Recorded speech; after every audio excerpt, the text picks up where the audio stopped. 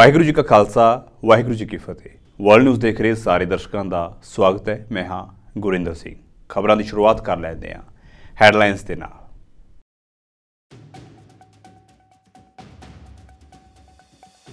ਰੂਸ ਨੇ ਯੂਕਰੇਨ ਉਤੇ ਕੀਤੀ ਬੰਬਾਰੀ 24 ਘੰਟਿਆਂ ਵਿੱਚ 6 ਲੋਕਾਂ ਦੀ ਮੌਤ, ਕਈ ਇਮਾਰਤਾਂ ਨੂੰ ਪਹੁੰਚਿਆ ਨੁਕਸਾਨ।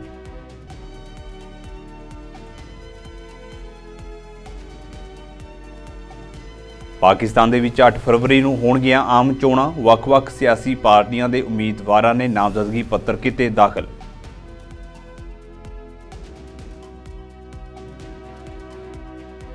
ਇੰਡੋਨੇਸ਼ੀਆ ਦੇ ਨਿਕਲ ਪ੍ਰੋਸੈਸਿੰਗ ਪਲਾਂਟ ਵਿੱਚ ਧਮਾਕਾ 12 ਲੋਕਾਂ ਦੀ ਮੌਤ 39 ਜ਼ਖਮੀ।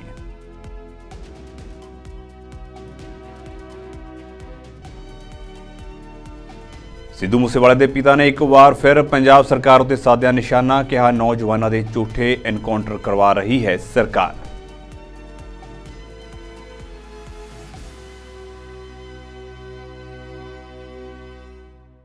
ਤੇ ਹੁਣ ਖਬਰਾਂ ਵਿਸਥਾਰ ਦੇ ਨਾਲ।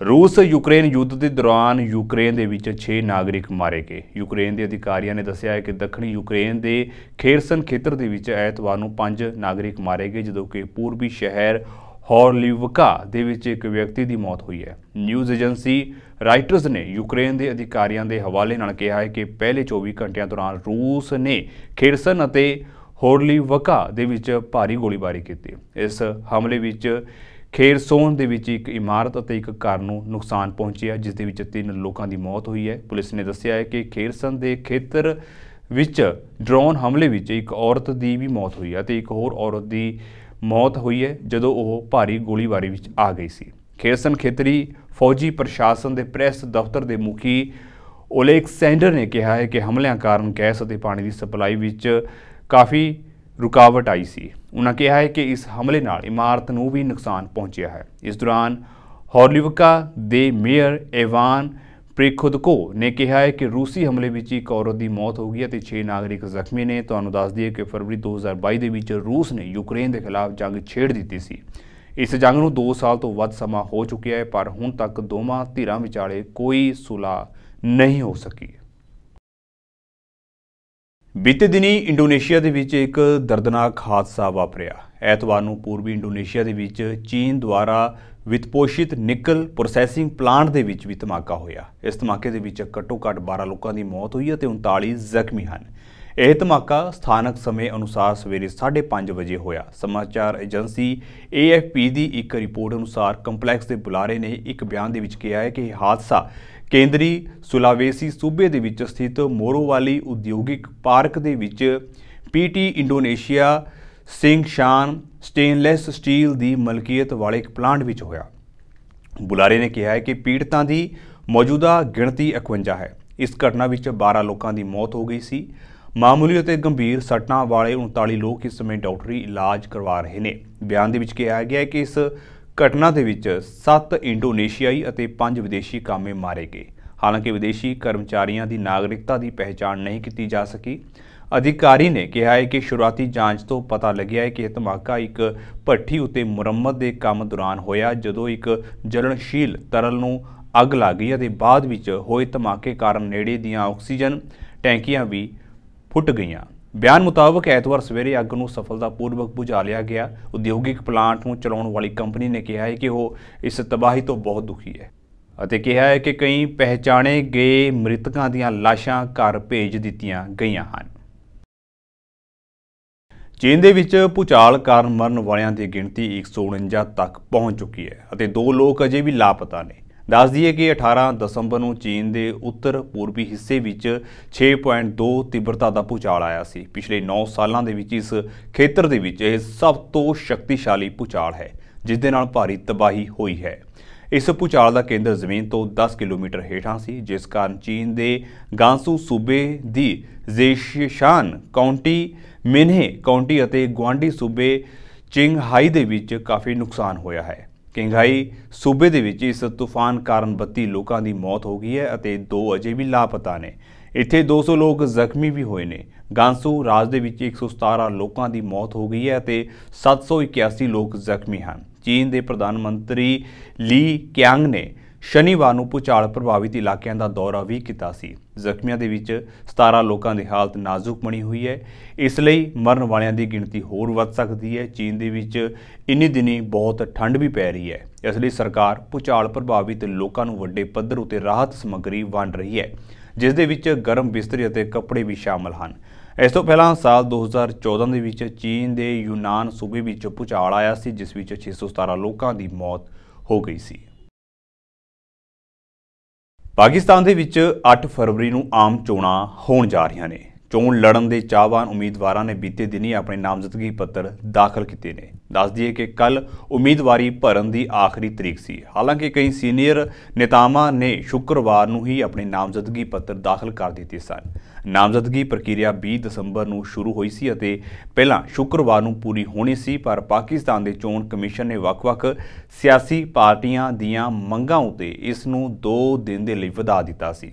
ਨਾਮਜ਼ਦਗੀ ਪੱਤਰ ਦਾਖਲ ਕਰਨ ਤੋਂ ਬਾਅਦ ਪਾਕਿਸਤਾਨ ਪੀਪਲਸ ਪਾਰਟੀ ਦੇ ਚੇਅਰਮੈਨ ਬਿਲਾਵਲ ਭੁੱਟੋ ਜ਼ਰਦਾਰੀ ਨੇ ਕਿਹਾ ਹੈ ਕਿ ਉਹ ਇਹ ਚੋਣਾਂ ਸਿਰਫ ਇਸ ਲਈ ਲੜ ਰਹੇ ਨੇ ਕਿਉਂਕਿ ਪਾਕਿਸਤਾਨ ਦੇ ਲੋਕ ਇਸ ਸਮੇਂ ਮੁਸੀਬਤ ਵਿੱਚ ਹਨ ਅਤੇ ਸਿਰਫ ਉਹਨਾਂ ਦੀ ਪਾਰਟੀ ਹੀ ਹੈ ਜੋ ਦੇਸ਼ ਨੂੰ ਇਹਨਾਂ ਮੁਸ਼ਕਲ ਹਾਲਾਤਾਂ ਵਿੱਚੋਂ ਕੱਢ ਸਕਦੀ ਹੈ आज अ, मैंने अपने जो नॉमिनेशन फॉर्म्स हैं वो लड़काना लाहौर और कंबर शदात कोट से अपना कागज़ जमा किया है and I am looking forward कि इन ताला फेबररी एट के इलेक्शन में भरपूर हम हिस्सा लेंगे।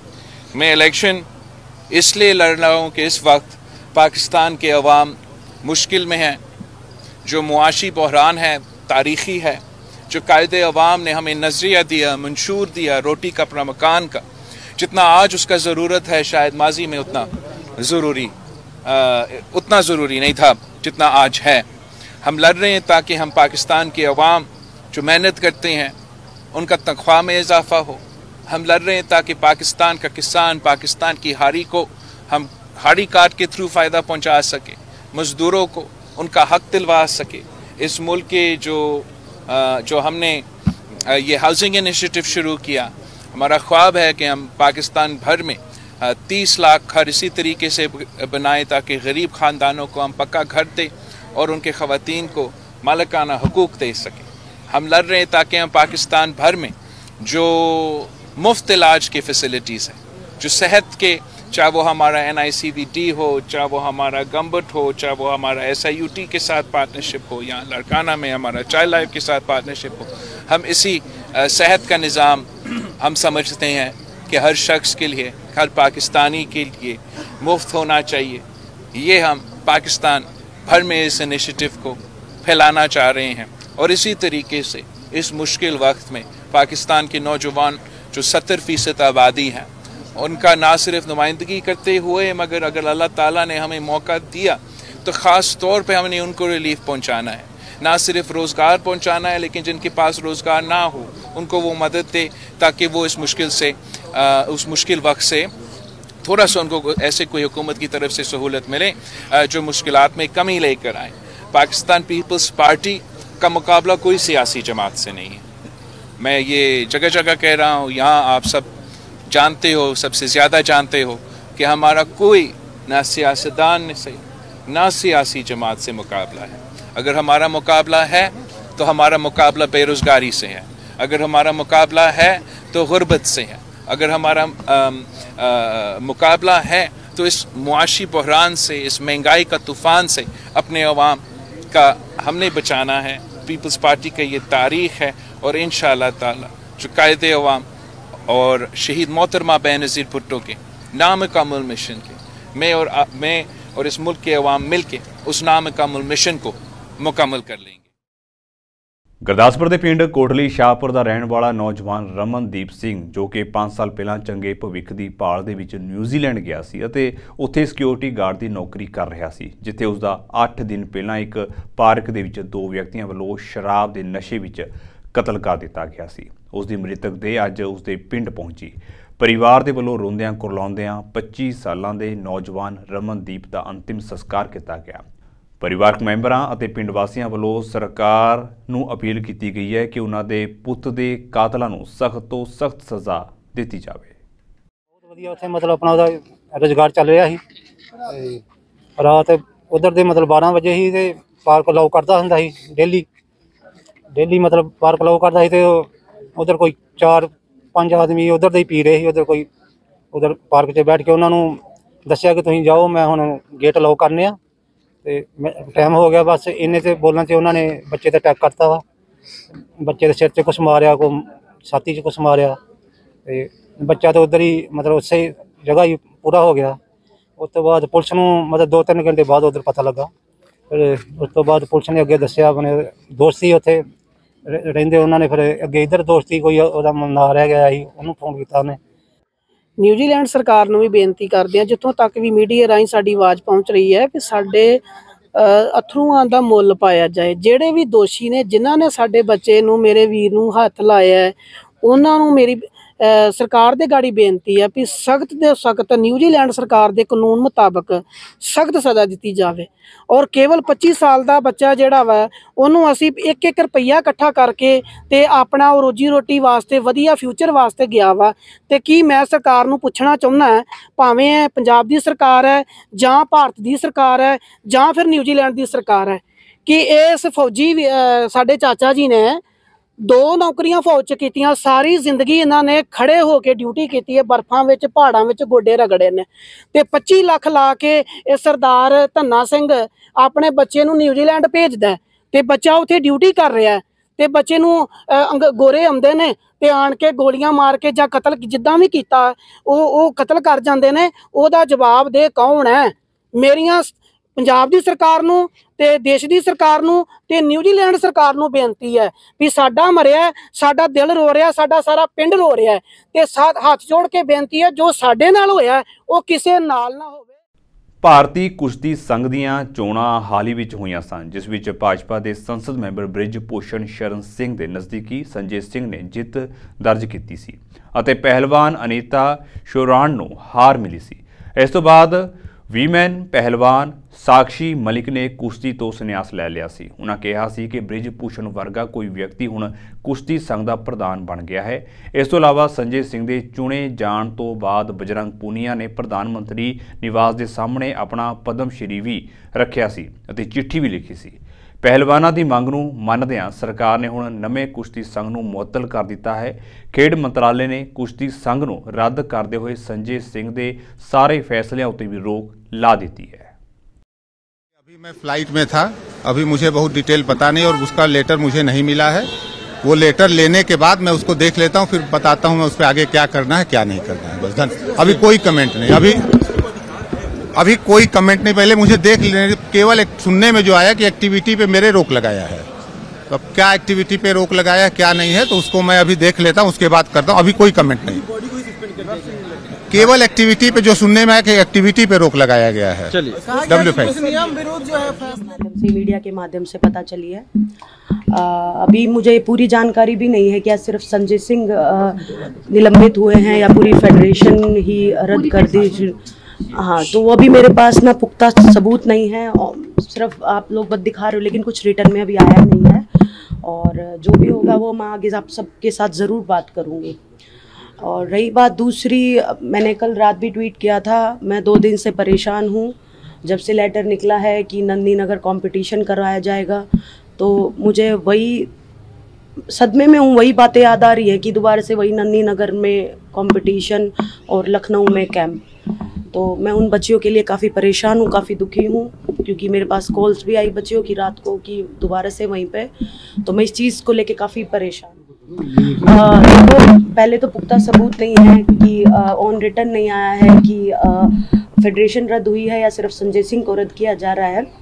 तो रद्द किया गया है तो जैसा भी मुझे प्रॉपर तरीके से पता चलेगा मैं आपके साथ ज़रूर बातचीत करूँगी। आगे की रणनीति क्या है आपकी? अभी क्या इंतज़ार क्या कर रही है? आगे क्या करेंगी? इंतज़ार यही है कि पुख्ता सबूत मिल जाए रिटर्न में पता चल जाए कि अ, क्या चीज़ रद्द हुई है फेडरेशन है या संजय सिंह रद्द हुए हैं।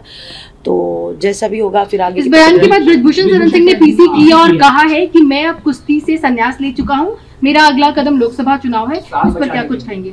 देखो वो उनका पॉलिटिकल है वो उनका एजेंडा है लेकिन हमारी जो लड़ाई है वो सरकार नहीं और ना आगे रहेगी हमारी लड़ाई। सिर्फ़ एक आदमी से थी। हमारी लड़ाई जो है महिलाओं के लिए थी। फेडरेशन में जो बेटियाँ हैं जो रेस्ट नए रेसलर्स हैं उनके लिए थी। और बस ये लड़ाई हम लड़ रहे हैं अपने तरीके से जैसे भी है। मैं तो संन्यास का मैंने अनाउंस किया है। और बस यही चाहूँगी कि जो आने वाली बेटियाँ हैं बच्चे हैं उनको न्याय ਫਰਾਂਸ ਦੇ ਅਧਿਕਾਰੀਆਂ ਵੱਲੋਂ ਪੈਰਿਸ ਨੇੜੇ ਹਵਾਈ ਅੱਡੇ ਉੱਤੇ ਮਨੁੱਖੀ ਸਮਗਲਿੰਗ ਦੇ ਸ਼ੱਕ ਦੇ ਵਿੱਚ 3 ਦਿਨਾਂ ਤੋਂ ਰੋਕਿਆ ਗਿਆ ਜਹਾਜ਼ ਅੱਜ ਉਡਾਣ ਭਰ ਸਕੇਗਾ। ਜਹਾਜ਼ ਦੇ ਵਿੱਚ 303 ਯਾਤਰੀ ਸਵਾਰ ਹਨ, ਜਿਨ੍ਹਾਂ ਵਿੱਚੋਂ ਜ਼ਿਆਦਾਤਰ ਭਾਰਤੀ ਹਨ। ਐਤਵਾਰ ਨੂੰ ਫ੍ਰੈਂਚ ਨਿਊਜ਼ ਪ੍ਰਸਾਰਣ ਟੈਲੀਵਿਜ਼ਨ ਅਤੇ ਰੇਡੀਓ ਨੈਟਵਰਕ CBFM ਟੀਵੀ ਨੇ ਦੱਸਿਆ ਕਿ ਜਹਾਜ਼ ਨੂੰ ਰਵਾਨਾ ਹੋਣ ਦੀ ਇਜਾਜ਼ਤ ਦੇਣ ਤੋਂ ਬਾਅਦ ਫਰਾਂਸੀਸੀ ਜੱਜਾਂ ਨੇ ਪ੍ਰਕਿਰਿਆ ਵਿੱਚ ਬੇਨਿਯਮੀਆਂ ਕਾਰਨ 300 ਤੋਂ ਵੱਧ ਯਾਤਰੀਆਂ ਦੇ ਮਾਮਲੇ ਦੀ ਸੁਣਵਾਈ ਨੂੰ ਰੋਕ ਦਿੱਤਾ। ਫਰਾਂਸ ਦੇ ਚਾਰ ਜੱਜਾਂ ਨੇ ਐਤਵਾਰ ਨੂੰ ਪੈਰਿਸ ਤੋਂ 150 ਕਿਲੋਮੀਟਰ ਪੂਰਬ ਦੇ ਵਿੱਚ ਵਿਟਰੀ ਹਵਾਈ ਅੱਡੇ ਉੱਤੇ ਫਰਾਂਸ ਦੇ ਅਧਿਕਾਰੀਆਂ ਵੱਲੋਂ ਮਨੁੱਖੀ ਸਮਗਲਿੰਗ ਦੇ ਸ਼ੱਕ ਦੇ ਵਿੱਚ ਵੀਰਵਾਰ ਤੋਂ ਹਿਰਾਸਤ ਵਿੱਚ ਲਏ ਗਏ 303 ਯਾਤਰੀਆਂ ਤੋਂ ਪੁੱਛਗਿੱਛ ਕੀਤੀ। ਜਹਾਜ਼ ਨੂੰ ਭਾਰਤ ਲਿਜਾਇਆ ਜਾ ਸਕਦਾ ਹੈ, ਕਿਉਂਕਿ ਜ਼ਿਆਦਾਤਰ ਯਾਤਰੀ ਇੱਥੋਂ ਦੇ ਹਨ। ਫਰਾਂਸੀਸੀ ਮੀਡੀਆ ਮੁਤਾਬਕ ਕੁਝ ਯਾਤਰੀ ਹਿੰਦੀ ਅਤੇ ਕੁਝ ਤਾਮਿਲ ਵਿੱਚ ਬੋਲ ਰਹੇ ਨੇ। ਜਹਾਜ਼ ਦੇ ਵਿੱਚ ਸਵਾਰ 11 ਨਾਬਾਲਗ ਜੋ ਬਿਨਾਂ ਮਾਪਿਆਂ ਦੇ ਸਫ਼ਰ ਕਰ ਰਹੇ ਸਨ, ਸ਼ੁੱਕਰਵਾਰ ਤੋਂ ਹਿਰਾਸਤ ਵਿੱਚ ਹਨ। ਇਸ ਤੋਂ ਇਲਾਵਾ ਸ਼ੁੱਕਰਵਾਰ ਤੋਂ ਦੋ ਬਾਲਗ ਯਾਤਰੀ ਵੀ ਹਿਰਾਸਤ ਵਿੱਚ ਹਨ।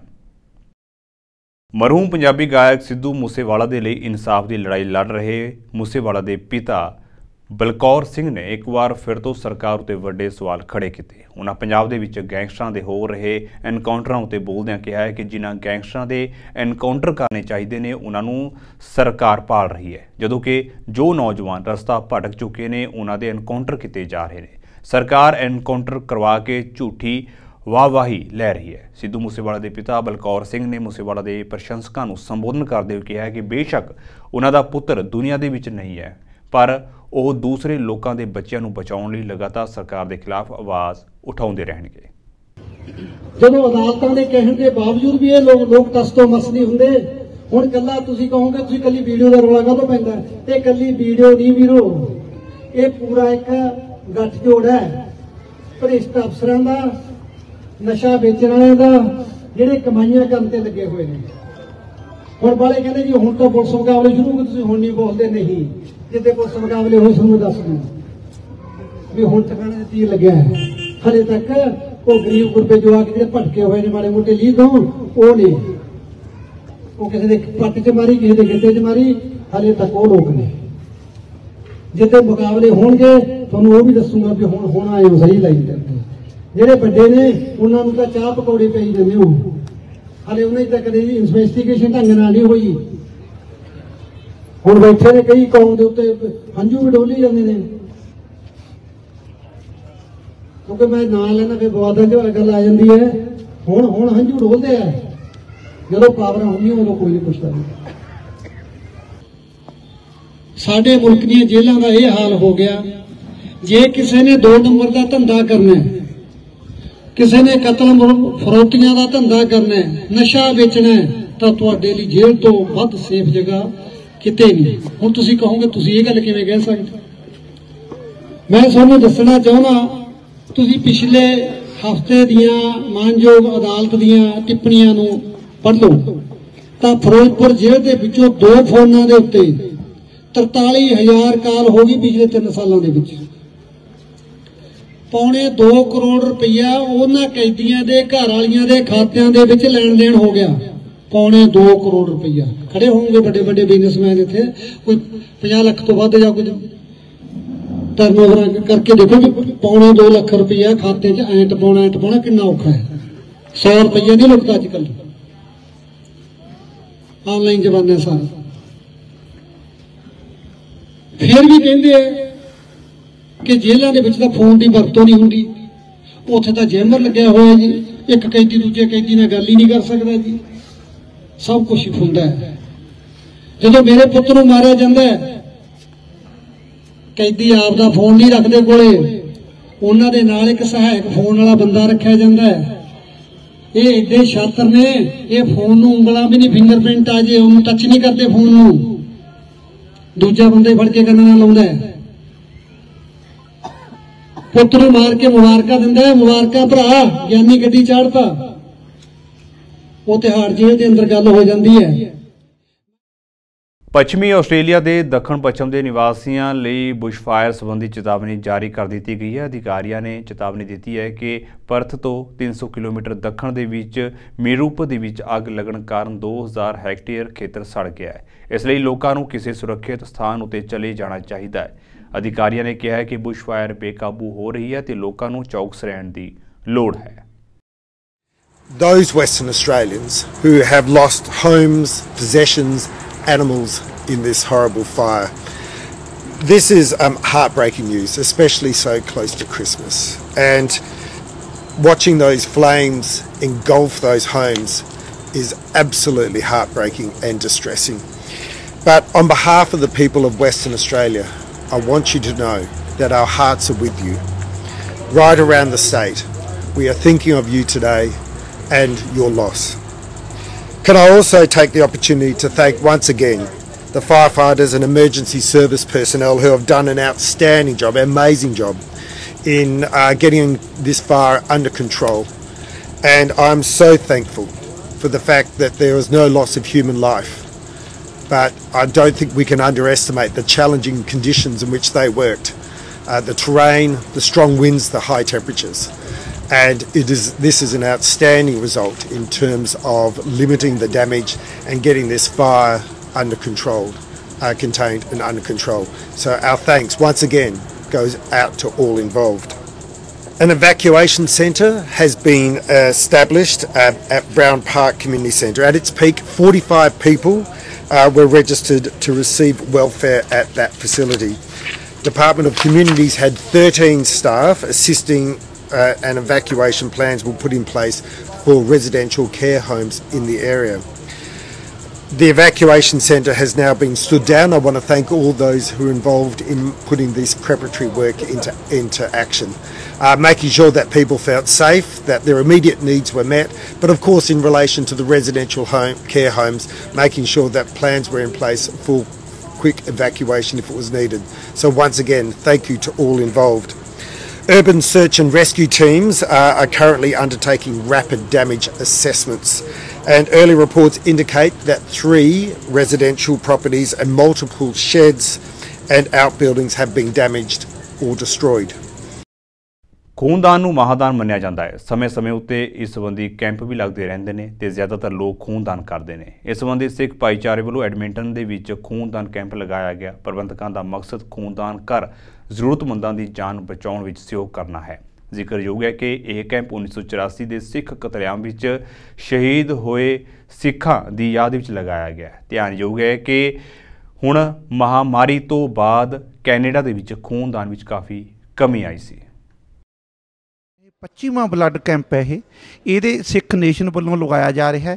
ਇਹਦੇ ਸਬੰਧ 'ਚ ਜੀ 176000 ਜਾਨ ਹਲੇ ਤੱਕ ਬਚਾਈ ਜਾ ਚੁੱਕੀ ਹੈ, ਜਿਹੜੀ ਸਿੱਖ ਨੇਸ਼ਨ ਨੇ ਸੇਵਾ ਕੀਤੀ ਹੈ। ਤੇ ਇਸ ਵਾਰ ਇਹ ਹੋਰ ਐਡ ਹੋ ਜਾਣਾ ਇਹ ਬਸੋਤਾ ਸਾਹਿਬ ਕੱਲੇ ਐਡਮਿੰਟਨ 'ਚ ਨਹੀਂ, ਸਮੁੱਚੇ ਕੈਨੇਡਾ 'ਚ ਤੇ ਸਮੁੱਚੇ ਸੰਸਾਰ 'ਚ ਕੋਸ਼ਿਸ਼ ਹੈ ਵੱਧ ਤੋਂ ਵੱਧ ਜਗ੍ਹਾ ਲ- ਲਗਵਾਉਣ ਦੀ, ਸਿੱਖ ਨੇਸ਼ਨ ਦੇ ਅੰਡਰ। ਤੇ ਇਸ ਰਾਹੀਂ ਮਨੁੱਖਤਾ ਦੀ ਬਹੁਤ ਵੱਡੀ ਸੇਵਾ ਹੈ। 1984 ਚ ਸਿੱਖ ਜੈਨੋਸਾਈਡ ਦੇ ਜਿਹੜੇ ਪੀੜਤ ਨੇ, ਉਹਨਾਂ ਨੂੰ ਇਹ ਸੱਚੀ ਤੇ ਸੁੱਚੀ ਸ਼ਰਧਾਂਜਲੀ ਹੈ। ਇਹਦੇ ਰਾਹੀਂ ਅਸੀਂ ਮਾਨਵਤਾ ਦੀ ਜਿਹੜੀ ਸੇਵਾ ਹੈ, ਉਹ ਕਰਨੀ ਚਾਹੁੰਦੇ ਆ ਮਨੁੱਖਤਾ ਦੀ ਸੇਵਾ ਜਿਹੜੀ ਕਰਨੀ ਚਾਹੁੰਦੇ ਆ ਆਪਣੇ ਸੰਸਾਰ ਨੂੰ ਦੱਸਣਾ ਚਾਹੁੰਦੇ ਆ ਕਿ ਸਿੱਖ ਹਮੇਸ਼ਾ ਸੇਵਾ ਤੇ ਖੂਨਦਾਨ ਨਾਲ ਲੋਕਾਂ ਦੀ ਜਾਨ ਬਚਾਉਣ ਦੀ ਭਾਵਨਾ ਰੱਖਦੇ ਨੇ। ਬੜੀ ਖੁਸ਼ੀ ਮਹਿਸੂਸ ਹੋ ਰਹੀ ਹੈ ਬਲੱਡ ਡੋਨੇਟ ਕਰਕੇ, ਕਿਉਂਕਿ ਇਸ ਬਲੱਡ ਦੇ ਨਾਲ ਲੋੜਵੰਦਾਂ ਦੀ ਜਾਨ ਬਚਾਈ ਜਾ ਸਕਦੀ ਹੈ। ਤੇ ਇਹ ਜਿਹੜੇ ਪ੍ਰਬੰਧਕ ਨੇ, ਇਹਨਾਂ ਦਾ ਬੜਾ ਸੋਹਣਾ ਉਪਰਾਲਾ ਹੈ। ਤੇ ਇਹ ਕਿਸੇ ਇੱਕ ਮਨੁੱਖ ਮਨੁੱਖ ਵੱਲੋਂ ਨਹੀਂ ਲਾਇਆ ਗਿਆ, ਇਹ ਸਿੱਖ ਨੇਸ਼ਨ ਦੇ ਵੱਲੋਂ ਲਾਇਆ ਗਿਆ। ਤੇ ਇਦਾਂ ਦੇ ਉਪਰਾਲੇ ਹਮੇਸ਼ਾ ਹੀ ਹੋਣੇ ਚਾਹੀਦੇ ਨੇ ਤੇ ਸਭ ਨੂੰ ਵੱਧ ਚੜ ਕੇ ਇਹਦੇ ਵਿੱਚ ਯੋਗਦਾਨ ਪਾਉਣਾ ਚਾਹੀਦਾ। ਸੋ ਅਸੀਂ ਅੱਜ ਸਾਰੇ ਇੱਥੇ blood donation by Sikh nation the clinic ਤੇ ਇਕੱਠੇ ਹੋਏ ਹਾਂ। ਹਰ ਸਾਲ ਦੀ ਤਰ੍ਹਾਂ ਇਸ ਸਾਲ ਵੀ ਸਿੱਖ ਕੌਮ ਵੱਲੋਂ ਨਵੰਬਰ ਅ, 84 ਦੀ ਯਾਦ ਵਿੱਚ ਬਲੱਡ ਡੋਨੇਸ਼ਨ ਦਾ ਕੈਂਪ ਲਗਾਇਆ ਜਾ ਰਿਹਾ ਹੈ। ਇਹ ਕੈਂਪੇਨ ਹੈ ਜਿਹੜਾ it's a campaign against genocide so ਸਾਡੀ ਕੈਂਪੇਨ ਦੀ ਕੋਸ਼ਿਸ਼ ਇਹੀ ਹੈ ਕਿ ਜਿਸ ਤਰ੍ਹਾਂ ਦੀ ਜੈਨੋਸਾਈਡ ਸਿੱਖ ਕੌਮ ਨਾਲ ਹੋਈ ਹੈ, ਕਿਸੇ ਵੀ ਹੋਰ ਕੌਮ ਨਾਲ, ਧਰਮ ਦੇ ਬੇਸ ਤੇ ਜਾਂ ਕਾਸਟ ਦੇ ਬੇਸ ਤੇ ਬਿਲਕੁਲ ਨਾ ਹੋਵੇ। ਸਾਰੇ ਇਨਸਾਨ ਨੂੰ ਆਪਣੀ ਜ਼ਿੰਦਗੀ ਜੀਉਣ ਦਾ ਹੱਕ ਹੈ। ਜੈਨੋਸਾਈਡ ਜਾਂ ਕਤਲੇਆਮ ਕਰਨ ਦਾ ਮਾਈਂਡਸੈਟ ਹੈ ਜਾਂ ਸੋਚ ਹੈ, ਉਹ ਸੋਚ ਇਸ ਦੁਨੀਆ 'ਚੋਂ ਖਤਮ ਹੋ ਜਾਵੇ। ਅਸੀਂ ਸਾਰੇ ਇੱਕ ਦੂਜੇ ਨਾਲ ਰਲ ਮਿਲ ਕੇ ਰਹੀਏ ਤੇ ਜੋ ਨਫ਼ਰਤ ਇੱਕ ਦੂਜੇ ਦੇ ਖਿਲਾਫ ਹੈ, ਉਹ ਨਫ਼ਰਤ all human lives are very important. We should not let all human lives go. We should save the lives. And this campaign against genocide has been saving lives for the last 25 years. And this campaign has saved more than 176,000 lives during this month of November in throughout Canada. And we are doing here in Ontario for the last 12 years. Actually the reason ਹੀ ਮੈਂ ਹੋਰਾਂ ਲਈ, ਹੋਰਾਂ ਦੀ life ਲਈ ਮੈਂ blood donate ਕਰਨਾ ਚਾਹੁੰਦਾ ਸੀ ਤਾਂ ਕਿ ਜਿਹੜੇ ਲੋੜਵੰਦ ਆ, ਜਿਨ੍ਹਾਂ ਨੂੰ ਲੋੜ ਆ, ਉਹ- ਉਹਨਾਂ ਨੂੰ ਮੈਂ ਬਲੱਡ ਦੇ ਸਕਾਂ ਆਪਦਾ, ਤਾਂ ਕਿ ਉਹ ਆਪਦੀ ਜ਼ਿੰਦਗੀ ਸਰਵਾਈਵ ਕਰ ਸਕਣ। ਸੋ ਫਿਲਹਾਲ ਦੇ ਲਈ ਵਰਲਡ ਨਿਊਜ਼ ਦੇ ਵਿੱਚ ਇੰਨਾ ਹੀ। ਤੇ ਹੁਣ ਮੈਨੂੰ ਇਜਾਜ਼ਤ ਦਿਓ। ਵਾਹਿਗੁਰੂ ਜੀ ਕਾ ਖਾਲਸਾ, ਵਾਹਿਗੁਰੂ ਜੀ ਕੀ ਫਤਿਹ।